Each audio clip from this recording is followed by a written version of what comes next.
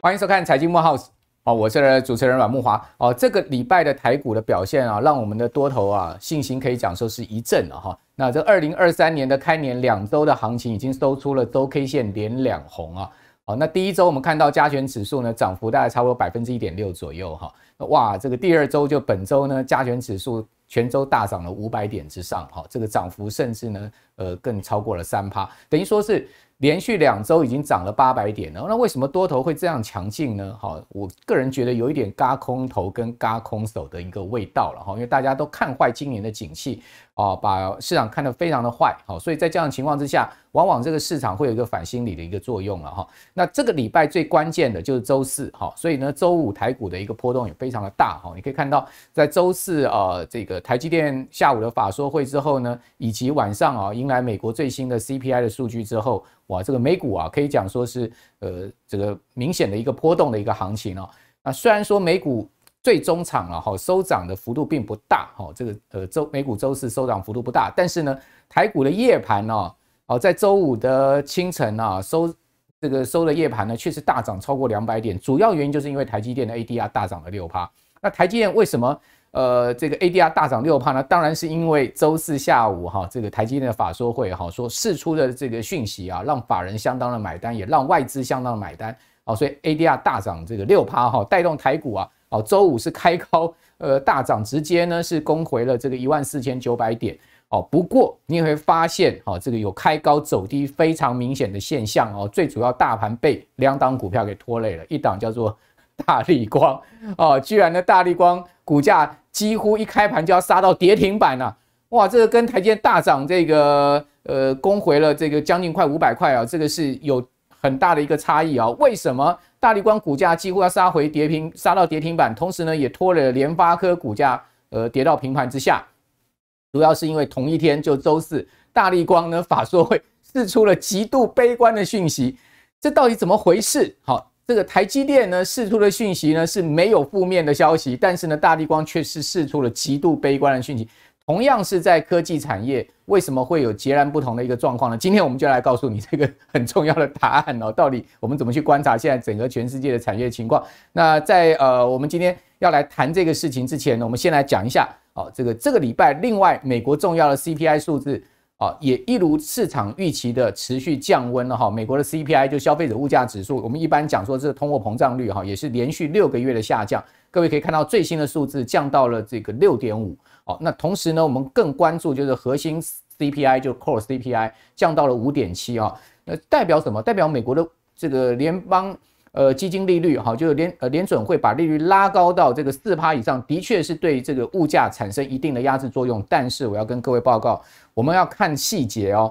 这个 CPI 里面呢，商品通膨虽然跌到二零二一年二月以来的低点，但是服务通膨却是涨到一九八二年九月以来的高点。换言之呢，服务通膨上去，商品通膨下来。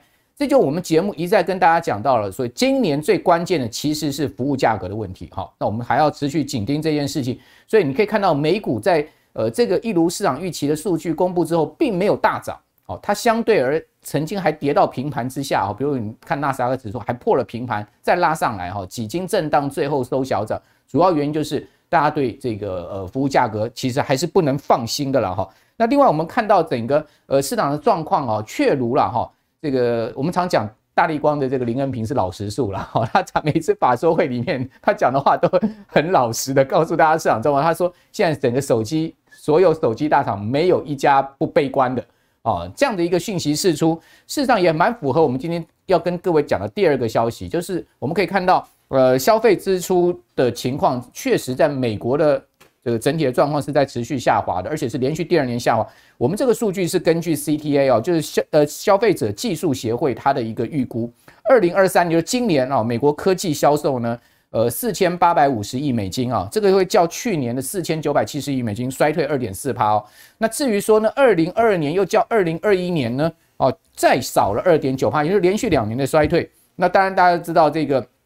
美国是全世界最大的这个消费市场哦，也是科技产品最大的消费市场。如果美国这个龙头啊往下掉的话，当然哦，这个呃，尤其是以消费为主的科技产品啊，这个压力就很大。果然大家可以看到，固能哈，它已经把这个呃整个去年啊全球 PC 的一个出货量哈，个人电脑出货量估出来了，哇，真的是可以讲说是非常惨了哈。大家看到，呃，去年第四季哈，整个个人电脑的部分创下有记录以来最大的降幅之外，哦，全年呢整个出货全世界啊大减十六趴之多啊，哇，这个对于整个呃。这个笔电厂啦哈，PC 厂来讲是一个非常大的冲击哦哦，那出货量降到二点八六二亿台哦，跌破三亿台的大关哦。那我们从各品牌来观察，各位可以看到降最多的当然是第一大品牌这个联想了哈。联想它的呃这个降幅呢达到十七点三趴，好，联想哦呃它整个 market share 呃相当大哦，二十四点四趴，是全世界 PC 它占了大概差不多是四分之一的一个 market share 哈。那另外呢，HP。好，惠普也降非常多，降了二十五趴。哦，那惠普的 market share 是二十一趴。哦，也就是说呢，联想加上惠普哈，这两家公司整个个人电脑的 market share 已经将近百分之五十。那另外各位看到苹果啦，哈，还有 ASUS 这个 Acer 哈，这些都是全世界哈非常大的一个呃这个呃 PC 的一个供货商了哈。大家可以看到，他们几乎啊全面是衰退，只有一家小幅成长，就是苹果。它还能维持三点六趴的一个年增的情况。那我们可以看到，苹果的 market share 呢，从二零二一年的七点九呢上升到九点八，好，就二零二零的这个 market share 是有在往上升的哈。但是联想、HP 哦，包括呃 Dell 哦，Dell 大概是持平哈。联想跟 HP 的 market share 可以看到，我们刚刚讲的这个二十四点四趴呢降到二十四点一趴，哦，然后二十一点七趴降到十九点四趴，所以都有往下降降略微往下降的一个情况。哦，至于说在呃台湾的品牌部分呢，呃，ASUS 衰退四点五趴，算是表现相当好了哦。就是说，呃，只有这个不到五趴的一个衰退，但是大家要知道，ASUS 的库存可以讲说是非常的大哈。这个库存量堆积的这个状况是让公司非常头痛哈。那另外 a c e 的衰退幅度呢是二十二点九趴。好，那这个呃资料呢呃提供给大家参考。好，那当然因为台湾呢这个电子五哥嘛，大家知道广达、人保啊，哦这些做笔电的哈，做代工的哈。基本上是台湾出口非常大的动力，所以我们可以看到去年十二月我们的出口呢创下二十个月来的新低哦，这是一个很大的警讯哈。这是继外销订单大幅下滑之后呢，我们的出口实际的数字哦也创了二十个月来的新低。去年出口啊是年减了十二点一趴哦，将近两呃这个将近这个两位数的一个减幅不说啊，哦掉到了只有三百五十七亿的一个这个呃出口金额。哦，那同时呢是连四黑，财政部还悲观的预估呢，今年一月恐怕出口还要再继续黑下去，就是连五黑的一个情况。哦，不过去年全年的我们的出口还是增长了哈，叫呃二零二一年呢增长的幅度是百分之七点四，好，所以呢全年还增长，但是今年呢我们的进出口看起来是要双衰退的哈，这个主计总数已经预估出来双衰退。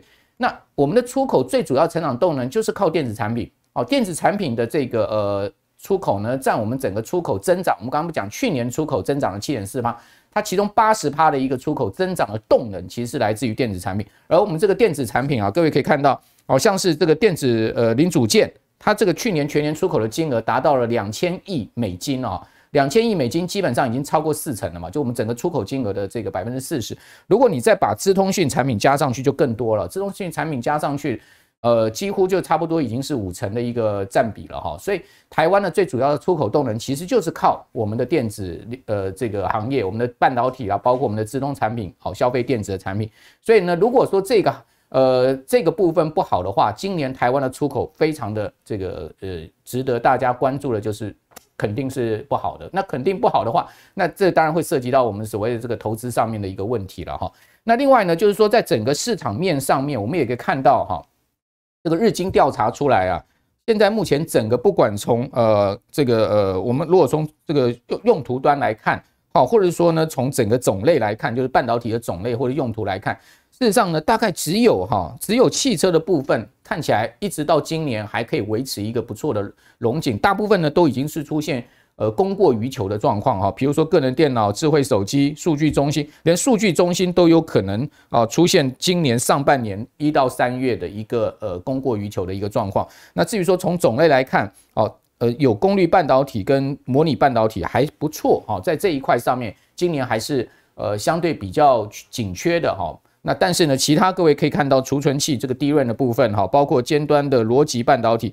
哦，这个就台积电代工的部分，你可以看到，其实呢，呃，上半年的状况也是不好，怪不得台积电今年预估出来上半年它的这个呃营收是会可能会这个比较明显的衰退，尤其是今年第一季哈，台积电在法说会上已经释出这样的一个讯息，但不过它的这个衰退符合市场预期啊，大概是百分之十五左右了哈。好，那这个讲了这么多啊，我们今天这么多的一个讯息，这个礼拜真的是非常多的事情啊，要一次呃在这边帮各位做总结不容易了哈。我们一个个来讨论好，我们先从呃我们刚刚所谈到了整个呃宏观经济的面上，半导体产业的这个角度来讨论。当然，工研院释出的讯息是比较乐观的哈，说今年呃我们的半导体还会突破五兆哈，然后呢还可以成长哈。这个好像跟全世界的现在目前的主流看法不一样哦。那到底谁对谁错没有关系，我们这个呃一次请专家来说分明哦。我们今天除了谈哦整个半导体产业以外，我们另外还要谈生技产业哈。因为我们今天请到的是《金周刊》的林宏文顾问哦，他本身呢是主跑呃半导体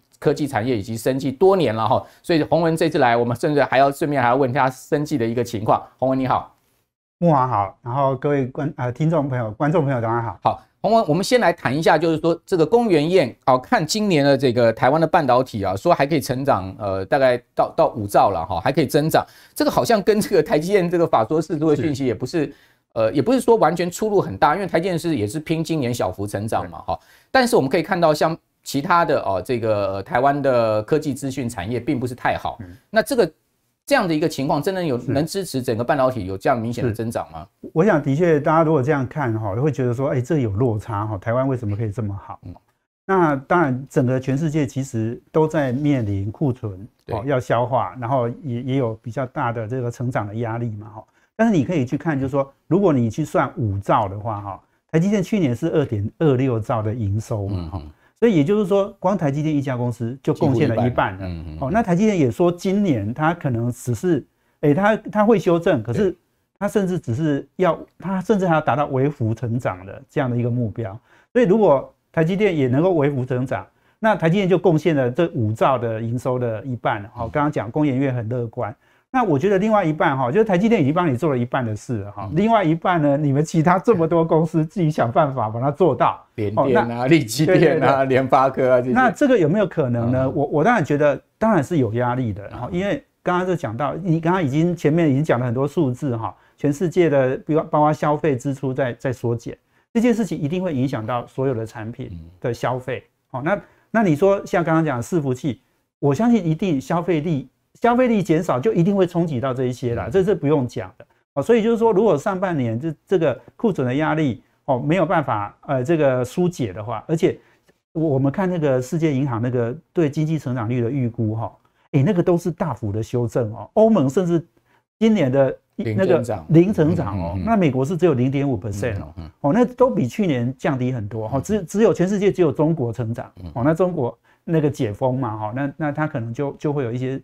增长的的机会，可是你你现在看这些大环境都不好哦。但是我们我们如果再回到，就是说，那台湾半导体哈，我我觉得你如果要讲到台湾半导体，就是说，在美中科技战、芯片战争，即使台湾你看来看去还是收回的，嗯，哦，就是说，因为你看现在又有你看中国刚刚讲的，他们事实上他们今年一开春哦，我觉得最大的新闻是两件事，嗯，一件事情就是说半导体的投资。他那时候是他们是上兆人民币的投资嘛，哈，他可能要缩减或者是延后哦，他没有讲得很清楚啦，哦，那只是说甚至说有人用暂停哦的投资嘛，哈，那这件事情他们如果减少投资，那对台湾来讲一定是受惠的，因为他们的投资他高阶也被禁掉了，所以他只能做成熟制程，那他成熟制程如果暂缓投资，诶，那台湾一定受惠嘛？因为联电股价直接竞争有有涨上来的一个题材，所以那个新闻出来。那我刚刚讲的第二件事情很重要，就是说他们对平台经济的嗯呃发发展呢开始恢复，所以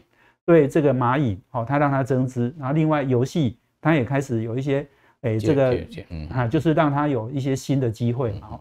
所以我我我觉得就是说，它也那大陆为什么要做这件事情？嗯，我觉得也很简单，因为它过去的半导体投资。就很没有效率嘛，而且贪腐很很严重嘛。然后我们不是讲很多晶圆厂现在到后来甚至变鸡舍嘛。哦，那就是说那个没有效率的情况是它必须要加以解决的啊。而且我觉得最重要，防疫让他花很多钱。哦，然后那个房地产的泡沫还在那里。哦，所以它这个这个过去的投资就是投资一堆钱在这里，那你没有效率，你当然缩减。哦，那平台经济是一定要让它恢复的，因为这个东西是哎成长很重要的动能嘛。哈，所以我我讲回来就是说，你看美中的对战啊，你看台积电去美国投资，看起来也是非常重要，因为对美国恢复这种半导体的制造是很重要。对，哦，那台积电带头，台积电你说资本支出稍微有一点缩减，可是呢？哎，这个这个三百六六三百二十亿，哎，还是很大的一个金额哎。好，所以我我我想就是说，如果你你去看这样看的话，哈，哎，也许工研院你你说它很正面，呃，我我觉得是它可能还是因为工研院也有颠覆政府的这种角色了哈。对对，所以它也不能太悲观了哈。老实说，它太悲观了，它也会被会被打脸的。所以，我我想整个看来就是说。这个目标当然是不容易的，可是我觉得也很难说不会达到。OK，好，那呃，基本上公园是看说啊，今年整个台湾的半导体啊产值可以到五兆的里程碑了哈，这个成长幅度六点一，那这当然就要看台积电是不是真的下半年能拉上来哈，因为台积电现在目前看起来是上半年会掉下去，下半年拉上来，全年拼呃小幅的增长。那至于说小幅增长的幅度呢，台电并没有给出一个概赖了哈，那基本上呢。可能也是就在五趴六趴这样子一个增长的一个情况。那刚刚洪伟也讲说，因为台建的营收就占了整个半导体产值的一半了嘛，好，所以基本上台建如果能增长，就稳住半边江山了哈。那如果说呢，今年还真的能成长的话哈，就已经是连续呃三年呢的的这个呃。可能第四年的一个增长，因为去年都已经是第三年的增长了，而且去年的增长幅度不小，整个半导体的这个增长幅度达到十五点六趴哦。好，那呃，但台积电的这个法说会这边就要好好请教洪文了哈，就是台积电去年哦赚了将近四个股本哦，这个 EPS 高达三十九块多哈，大家可以看到它去年第四季的财报公布，当然去年第四季好，这大家都知道哈。主要展望是今年了哈，那去年第四季它的这个毛利率呢，哦是季增了一点八个百分点，所以很厉害。台积电毛利还能再往上提高，因为它已经到六十趴的一个毛率哈，提高到六十二点二趴。那营收呢，哈这个是六千两百五十五点三亿哈，税后赚了快三千亿。两千九百五十九亿都创新高哈，所以美股的 EPS 创新高到十一点四亿元，所以全年呢就达到了三十九点二元的一个 EPS。很多人讲说台积赚这么多钱，将近四个股本，会不会增发股息呢？哈，这个等一下可能也来问一下洪文。好，如果增发股息，当然对股价来讲哈，会有一定的这个呃往上推升的力道了哈。那它营收到二点二六兆哈，净利已经超过一兆，好那。呃，毛利率呢，全年是五十九点六帕。那今年第一季的展望哈，它的营收很重要啊，季减十四点二帕，这是符合市场预期，因为市场本来就预期它的营收会季减十五帕。那毛利率呢，好，这个是五十三点九帕到五十五点帕，所以毛利率掉下来哈。那盈利率呢也掉下来到四十一点五到四十三点五哈。那全年展望哈，他说呢，美元。如果以美元计的话，它的营收还可以微幅成长，那毛利呢维持在五十三%，也就是说，今年第一季大概就是它毛利最低的一个情况了哈，就是说整个呃受到市场不景气的各种影响，毛利最低就是第一季，后面应该会呃比较好一点的状况，或者说持平呃是不会再差了了哈。那市场展望的部分啊，台积呃不计记忆体的半导体营收呢？哦，展望是计呃减四趴哈，晶圆代工营收减三趴，资本支出维持差不多三百六十亿哈，这是跟先前的资本支出差不多。好，那至于至于说这个先进制程海外布局，也都是我们要关注的重点。这边就来请教洪文，就说台电缴出这样的一个财报，以及这样子的呃这个 outlook，呃，你你你觉得现在目前市场的这个反应看起来是正面的了哈？我不晓得你怎么看这个事。这个财建的法说，我我我觉得，当然所有人在讲，就是说啊，财报是过去式了。对。但是台积电第四季公布这个财报哈，我觉得还是蛮重要的。就是说，哎，在全世界大家都在哎财财报都这么难看的情况下，你看三星不会好嘛？三三星第四季还没有公告，我相信一定不会好的。它因为它第三季已经不好了。哦，那其他公司，那美光那个也更不好，那还亏损。对，亏损。哦，那很多公司，即使 Intel 也不会好。哦，没有人好的。台积电这种这种好法 是好的，有一点大家会觉得说，难怪巴菲特会看上它哈。哦，那那我我我想就是说，第四季的财报当然是过去式没有错哈。那第一季、第二季，哎，现在现在就是哎，它的呃它的预估哈，衰退中位数是十四趴哈。那衰退十四趴，我觉得这个事情哈，应该大家也可以放一点心呐哈。就是说，那衰退十四趴，哎。去年哦，二零二二年从一月开始哈，就已经那个什么手机啦，对，哎，那个 PC 啦，那大家都在开始在库存在大幅增加嘛，很多公司都已经在亏损了哈。那台积电到今啊今年的第一季才要调降十四趴十五趴的营业额，这个是我们可以这样讲，就是说台积电别人哈坏坏都坏了一轮之后啊，台积电才开始坏，嗯，哦，它是最后才坏的。那如果要好呢，台积电一定第一个好，嗯，好，那那这个中这中这中间当然很一个很关键，就是说它的它建立起来的竞争障碍是没人可以超越的。对，事实上它的第四季财报已经告诉你了，它的七纳米啊七纳米有掉啊，五纳米也有掉啊，可是七跟五这这个整个的创造的贡献的营收哈是超过它营收的一半哎，就是。五十几趴哦，对，那所以意思就是说，你看这这七跟五哈，其他人是做不太出来的哦，三星做一点点哦，那其他你说什么联电什么，他们根本革新，他们根本就做不出来。所以意思就是说，他在这个高阶制程没有对手哦，或者是一个对手很弱哦，那他很强独强的，所以他已经垄断这个市场。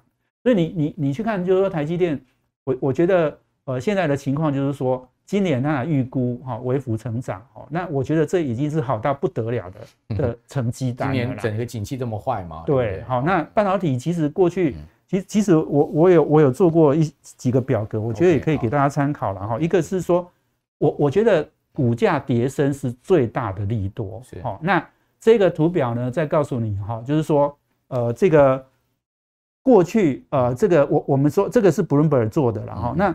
过去就是说，呃，你他从呃费半的那个指数哈，他他去那个成分股啊，他们去估，就是说从最高的获利预估到最低的获利预估，二十四个月内，它如果跌幅是多少？哦，那这一次到呃二零二二年的年底哈，它是跌十七趴。那这个是过去三次景气循环，从二零一二年到现在哈，它的它的这个修正幅度是最大的。也也就是说，大家看看坏。那因为看坏，所以股价就大跌。就三费费城半导体的三十成分股，他们整个获利的下滑。下滑。好，那那当然这个月跌到十七趴。对，已经是二零一二年以来最坏的最坏的情况。那因为 E E B S 预估那个下修，下修很大，所以股价一定也大跌嘛。所以去年的费城半导体也跌了快四成。没错，对。好，那台积电也也甚至跌幅超过这个。对。所以我说。跌升是最大最大的利多，就是说，因为大家都跌了，而且跌很多。那台积电也是跌到好那个这个可能是历史的那个本益比十倍，好三百七那时候就是跌到 差不多，基本上应该是跌跌超过十倍了，因为它最最后公布出来是四十块嘛，哦，就是获利是四个股本。三九点多，对，所以跌跌超过本益比十倍哦，那这个当然就是一个。就刚刚讲的哈，就是跌太多了啦，跌太多，在这个时候大家又不好，但台积电公布这个财报当然就涨。好，那另外一个，另外这个是也是 Bloomberg 他做的哈，他就是说过去本益比哈，半导体的本益比哈，在如果是在那个二十四倍以上是有五成的时间哦，嗯嗯，哦，那低于呃这个十九倍的时候是两成的时间，嗯，哦，啊你想想看，啊台积电跌到十趴以下，那个是历史上很少见的。的时间点嘛，所以它回到它回到合理的本益比，至少是十九倍以上嘛。那十九倍以下还二十趴，那那五十趴以上是二十四倍以上哎。所以你就是说那个股价已经跌到太深哈，所以它这个会有一个比较明显的修正哈，明显的回弹的的这种修正。所以台积呃，法说会之后，股价又见到快五字头了嘛？是是是。那另外一个呃，这个数据也可以给大家参考，就是说刚刚讲的，就因为大家预期都太差嘛，所以资本支出大砍嘛。哦，那所以你你看整个半导体的那个支出，所有人都是砍掉的。对，哦，就是原原来那么乐观的那个情绪也没有了。哦，那当然在所有的悲观，我觉得股市好像。永远都是这样的一个循环哦。你你你在太悲观的时候，你进场一定有机会的。但你进场，你要找那个最好的公司。对啊。好，那这个这个跌这个砍的幅度哈，呃，一线大厂砍的比较少了。嗯。二三线砍的有的都砍到甚至快一半了哈。那像利基电，它它砍掉呃这个四十三趴嘛。那那个 SK Hynix 哈，海力士砍掉五成哦。对对对。所以对，所以就是说。你如果说这个资本支出哈是一个大家心里的，因为资本支出也可以算是一个景气的一个领先指标了。你资本支出先砍了哈，表示说大家看坏嘛。那那有时候通常就是这样，你看太坏哈，一定会回弹的。哦，那你你说刚刚讲 SK 海尼斯它砍了五成，哎，可是三星哦还逆势投资哎，所以所以你就可以看到，就是说大厂哈，当然有实力的公司哈，在这种不不景气的时候，它还能够逆势投资哈，这个以后一定上来的。对它逆势投资，就是说这个当大家都在呃这个缩减的时候，我反而是扩张嘛哈。对，那代表第一个我有这个很丰沛的现金现金的能力嘛哈，现金流的这个 control 能力。另外一方面呢，就代表说我未来我就是要把这个市场全部吃下来嘛哈，吃更多的市场份额啊。大概刚刚洪文所分析出来的情况下是这样子哈。好，那不过呃整体而言呢，这次台积电的法说我们也可以看出来，其实台积电。的确是哈，现在目前五纳米、七纳米哈，占它的整个营收比重已经超过五成了嘛。好，所以说呃，最重要的台建还能维持小幅成长哈，呃，主要原因是在这个 HPC 就高速运算的部分呢，哦，仍然是非常看好。可高速运算大家都知道，很多这个呃运用是在伺服器端哈，呃，伺服器端像现在目前的状况是这样，在这个记忆体啊、PC 都已经是摇摇欲坠的情况之下。哦，这个 C C S P 的巨头啊，我们看到这个 F A N G 啊，哦，脸书、亚马逊、微软、谷歌，他们的这个资料传输量哈，每年都是以百分之二十五的速度在增长，这是一个非常快速的一个呃增长的情况啊，这也带动了整个呃所谓资料中心的运用哈。那最但是呢，各位可以看到最近哈，我们已经看到他们开始要砍单的讯息，比如说推特哦，他已经公布了这个，就是说这是郭明奇说的了啊。推特呢要砍掉八成伺服器的订单，那当然因为推特现在状况，马斯克入主之后，啊也是风雨飘渺嘛，哈，就要做这个很大的人事成本跟资本支出上面的一个呃缩减。那另外呢，包括谷歌 Meta 最近也宣布哈，要延后像呃明尼苏达州或是说丹麦资料中心的资本支出了哈。所以你可以看到，像 TrendForce 也预估啊，哦整个呃伺服器端的这个出货年增率啊会下滑到会下滑二点八趴。哦，这个影响原因当然有这个库存修正啊，包括企业 IT 资本支出的调降。各位可以看到，像是推特，哦，最最主要就推特砍掉八成的这个伺服器的订单，这个郭明奇透露出来的讯息。另外呢，谷歌也要无限期的延后，谷歌喊停价值六美元的资料中心的开发专案，Meta 暂停在丹麦的一个资料中心的扩张。所以整体而言，可以看到这些呃巨头们啊。在过去大幅成长的一个背时之下，现在都开始放慢放慢脚步。这个请教洪文，就是说在资料中心的部分，呃，如果说这一块也开始松动的话，其实对台湾来讲也很大影响哦。因为呃，台建台其实在这一块上面的代工量也蛮大。另外就是台湾有很蛮多有有做相关数据对数据呃，或者说呢呃光通讯的，或者是说呢这个呃伺服器端的，对这个影响不小哎。我我想一定的哈，就是说。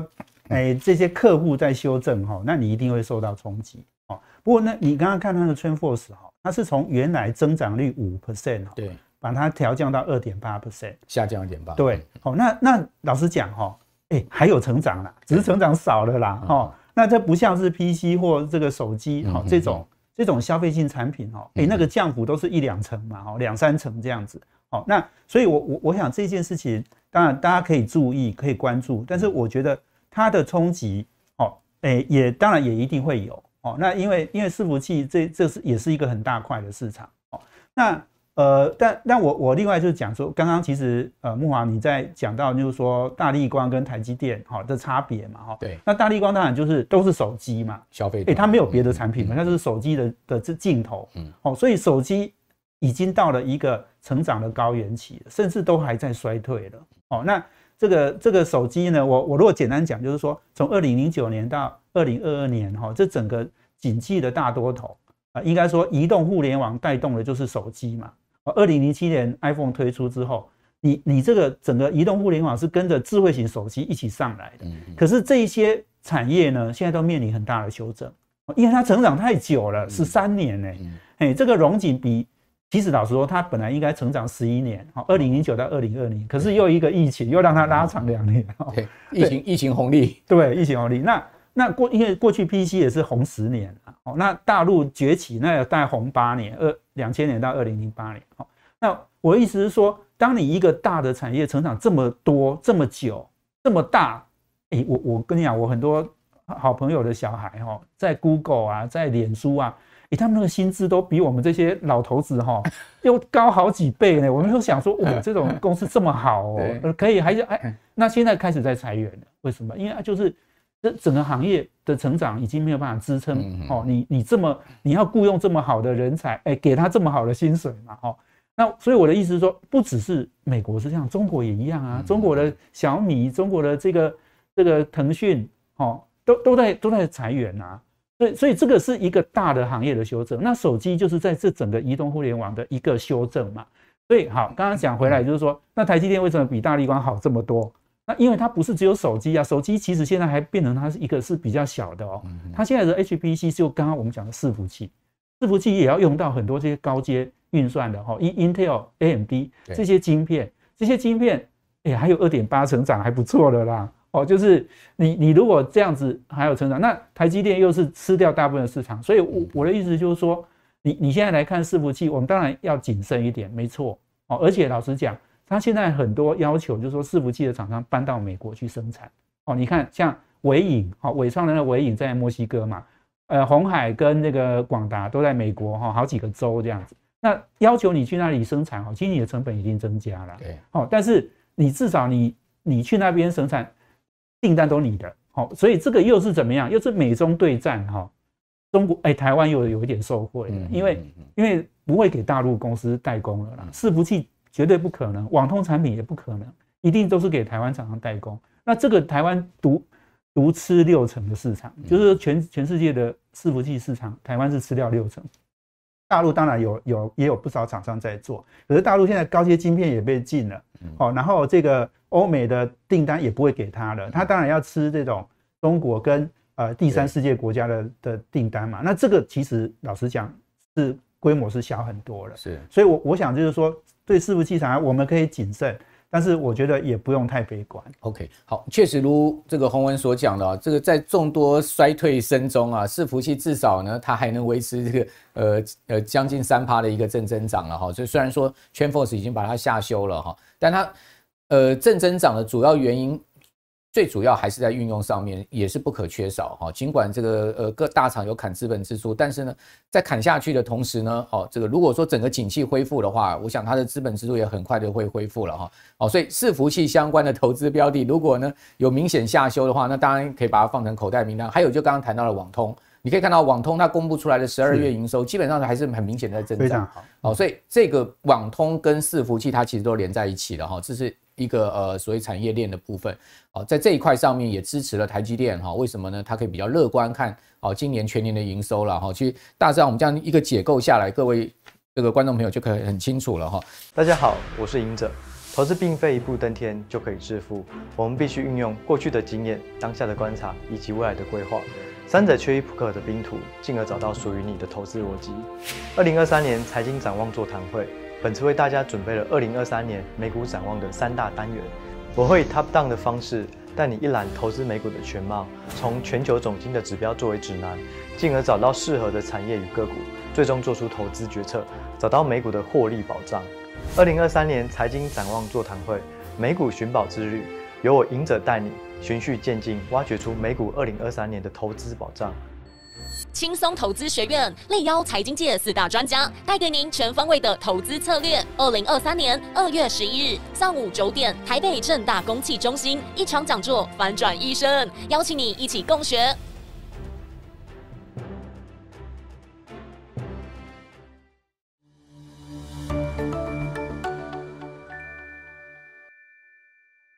啊，另外我们可以看到，就是说在呃这个电动车的运用部分，这个也要请教你，因为特斯拉去年股价跌得非常惨嘛，哈，跌了百分之七十，呃，将近百分之七十哈。然后呃，马斯克是变成史上第一个身价减少两千亿美金的人，没有一个人让他身价可以这么快速的减少两千亿。哦，这个马斯克是第一个人，因为他股股价大跌哈，所以导致了他的这个。呃，所持有股票市值也大幅的减损。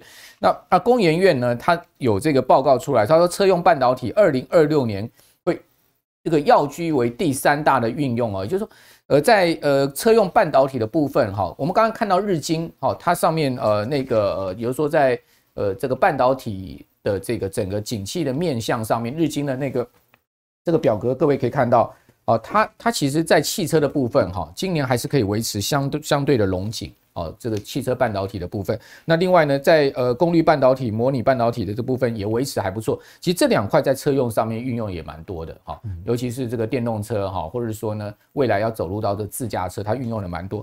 所以看起来呃这个汽车零组件的部分哈，尤其是汽车半导体零组件的部分，应该还是一个主要我们可以关注的重点，对不对？没错，没错。我我想哈，我我刚刚在讲就是说哈，如果你你你讲那个大的成长的驱动力哈，通常。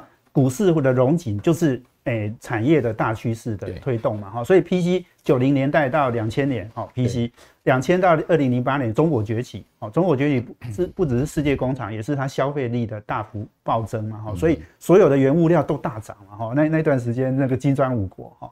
啊那呃零九年到二零二二年我们刚刚讲移动互联网，那二零二三年哈今年。之后会成长什么？一定电动车。好，那我想电动车我们来来观察，就是说，呃，几个重要的指标哈。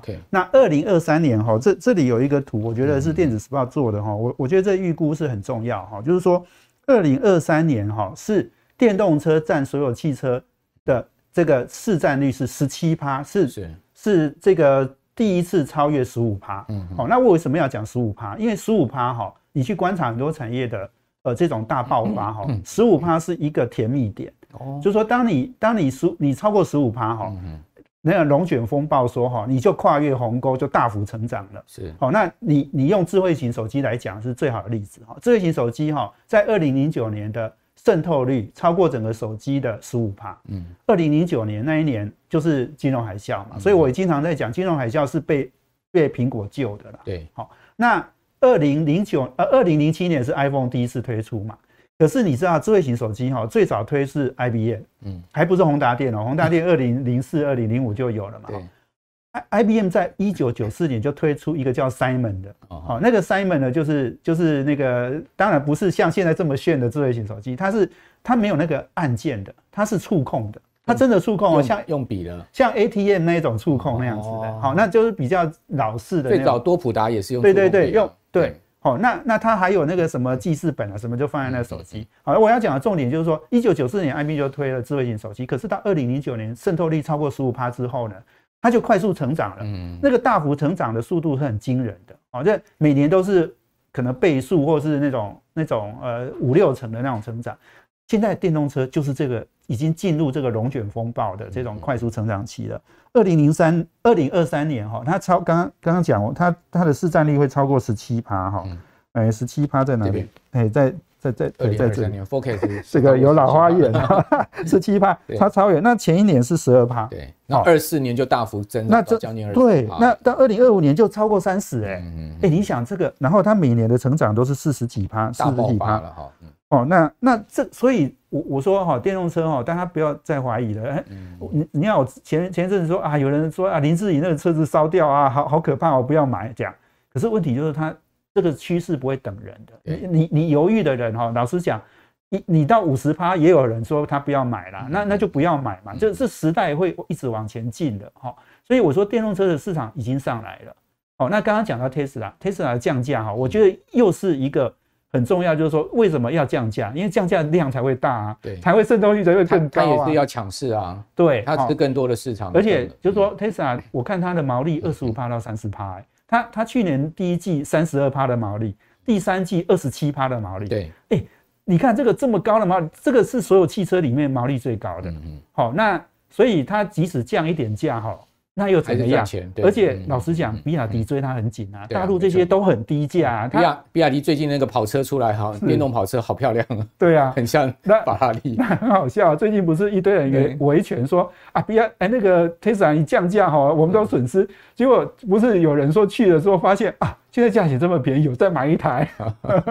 对，所以我觉得有钱就是任性。对，所以我我想就是说整个电动车哈，对，大家也不用。太太怀疑，那而且电动车的市场哦，比过去我刚刚讲的 PC 啊、手机啊，哦，那就大太多了。对，因为电动车哎，或者整个汽车是造美元的，嗯，造美元的市场。那以前那都是千亿美元的，好，那所以你你这个值那个层级也不同嘛，那跳一个大级，那你要用这个来推动你整个。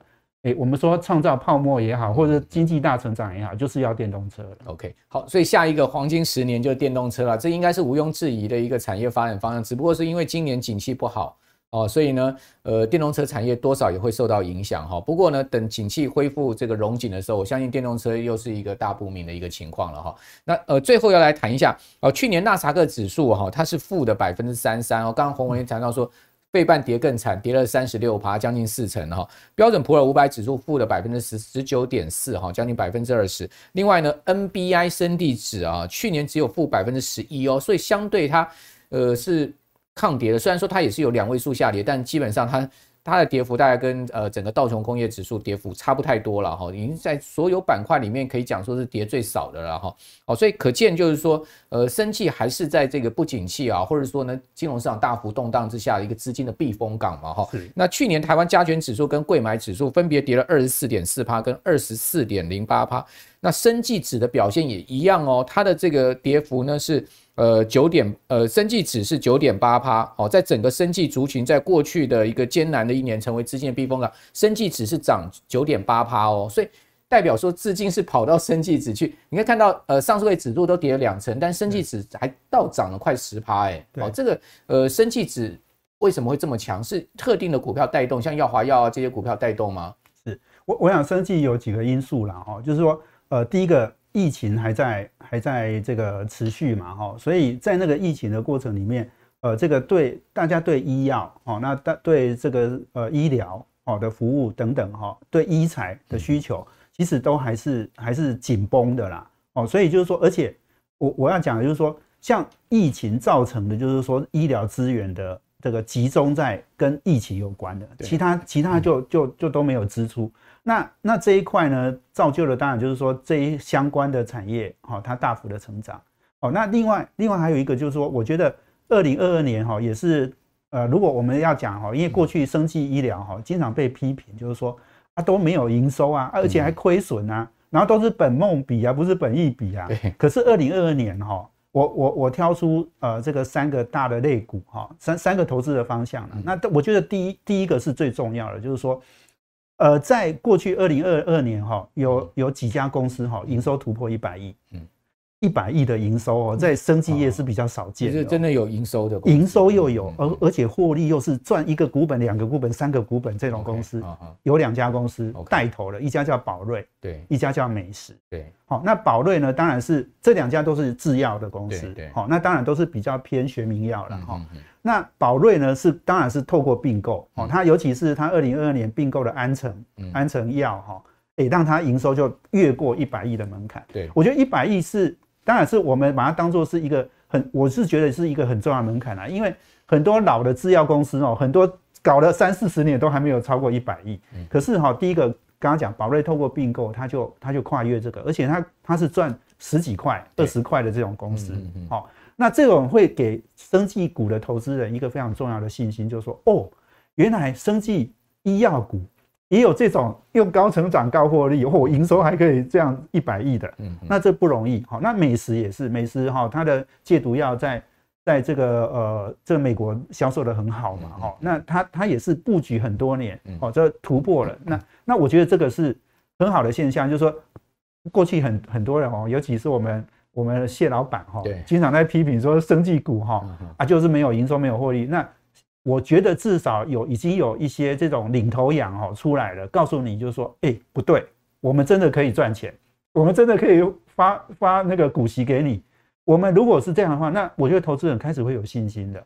哦，那我就是说从这里去带动了，就是说，哎，百亿的哈还不止这两家啦，那个葡萄网也是百亿的，对，哦，那有一家叫泰博哈，也将近要快要一百亿，九十六亿，对，哦，去年，哦，那获利这些都是。算一个股本以上的公司啊，哦，所以我说第一类，如果你说生技股要有营收的，要有营收，要有获利，而且获利要高成长啊，EPS 还赚股一个一两个股本这种，是，好，那第二个当然是生技新药股，我们绝对不能忽略。刚刚有讲到药华药，它现在是是龙头嘛，哈，那事实上，呃，这个呃一呃这个新药股哈，我当然风险我是觉得很高了。其实我我搞说真的，我跑了。这个生技呃产业哈跑了很久哈，我还是搞不清楚这些新药股哈到底它它有多好的价值。但我我不会评估哈，真的我真的我我我不是说我我觉得它不值得这个钱，而是我真的不会评估，因为那个太难了哦。而且有时候，哎，这个解盲成功也解盲失败哈，你也不你也没有办法判断。那成功失败，你完全是啊，你完全是被打巴掌了，有点像赌博了哈，对不对？所以就是说，它时间又很长，然后它成功的成功的诶，这个 uncertainty 很高哦。那当然，它的投资报酬率。呃，如果赌对了也是很高了，没错。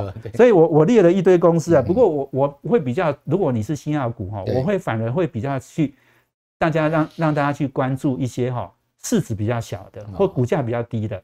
那你既然要赌，你让他赌那个成功机会会比较大的嘛？对。就是说，你干嘛去买那个股价好几百块的？然后，然后如果这个解盲失败，你就大跌。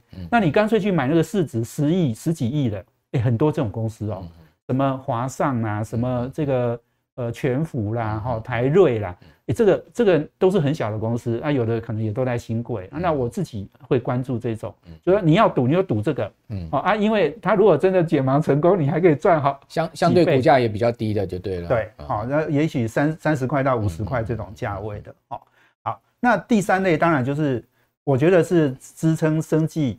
产业、生技医疗产业最重要的就是医材股。嗯嗯，那医材股也有很多高获利的。对，好，它也许它没有像我刚刚讲的百亿的营收，可是他们那种高获利哈，真的很多哈。什么泰博啦，哎，金华光学哦，这个隐形眼镜的好几家哦，都很都很棒哦。对，哦，金华光学、金硕、世阳哦，然后然后医材的什么易泰、哦，亨泰光、大学光、大学光也是跟跟镜片有关的。哦，所以就是说。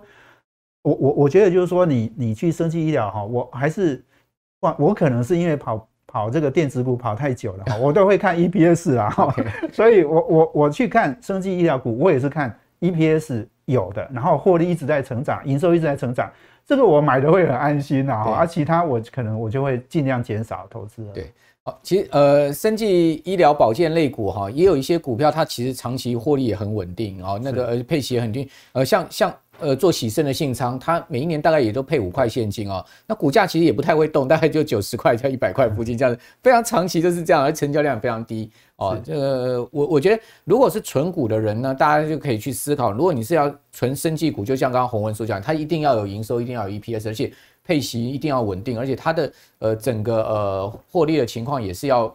长线上面都要非常稳定的哈。如果说大家是赌性比较坚强的话，你 大家可以去买那个我们刚刚讲说这个呃新药股，好，新药股基本上没有营收，也没有获利，可能还在亏损。但是它如果一个开发成功的话，那后面整个爆发起来就不得了哈。那这个就是带有一点这个赌赌性坚强的味道了。Anyway，我想这个反正大家都可以找自己喜欢的标的了哈。你说啊，我都不喜欢升级股，你不投资也是可以。好，那你就。呃，不管怎么讲，我们的钱还是要投资了，因为现在目前看到利率虽然上去，终究要下来哈。这个全世界的利率不可能一直维持在高档哈，所以投资不管股市、债市，还是一个我们创造退休金啊、创造我们财富一个非常重要的方法了哈。刚刚谈到在不景气的期间，各位可以看到，哎，生计相关的产业哈，你可以看一九八零年到二零二零年哦，经济衰退期间哦，比如我们讲说 S S M P 五百指数里面哈，它的分类指它可以还可以成长的。包括像是医疗、必须消费、公用事业，还有工业，哦，这些呢还能成长，其他呢大部分都会衰退哦，所以。呃，这个呃获利的一个表现呢，就是股价很重要的支撑。好像这张表最后也提提供给大家参考。那最后呢，我们介绍一个座谈会啊，我们这个座谈会是由呃轻松投资学院所举办的哈。在在二零呃二三年，就今年的二月十一号哈，在早上九点就展开啊，因为有四位讲师，各位可以看到，包括像是股市赢者啊，我个人还有杜金龙老师，还有呢曲博，我们分分别会就各个产业面向、总体经济面向，包括。呃，杜老师也会提供他对今年整个台股的预估，哦，给各位参考。那如果各位呃观众朋友有兴趣的话，你也可以上我们的这个说明栏上面去看一下，我们有一个折扣码哦，这个折扣码可以折一千块钱哦，是折不少啊。这个折扣码是 EZB 零二，这个折扣码打进去可以折一千块。好，那如果大家有兴趣的话，可以多多使用折扣码啊，多少省一点钱。好，那今天非常谢谢洪文参加我们的这个节目啊，也谢谢我们所有观众朋友的收看。好，观众朋友，如果您喜欢我们的节目的话，请记得六日早上啊准时收看我们的财经木 house，同时把我们的节目介绍给您更多的好朋友。像洪文刚刚谈到了整个半导体产业、生技产业，也是我们节目持续追踪的哈。呃，未来我们还持持持续请到洪文来跟大家掌握最新的讯息啊。我是阮木华，我们下次见，拜拜。大家好，我是许博。投资人呢最关心的就是未来科技的趋势，还有产业的远景。我帮你们啊都收录在二零二三年财经展望座谈会。座谈会中呢，我将跟大家畅聊整个半导体未来的机会跟挑战。从全球的角度来看台厂的优势还有劣势，你将会得到不同的见解。紧接着，全球瞩目的未来趋势就是电动车。我要来告诉你，电动车你要知道的不是只有特斯拉哦，在未来百家争鸣的电动车市场，你只有了解更多更深的资讯，才会比一般大众拥有更丰富、更精准的投资机会。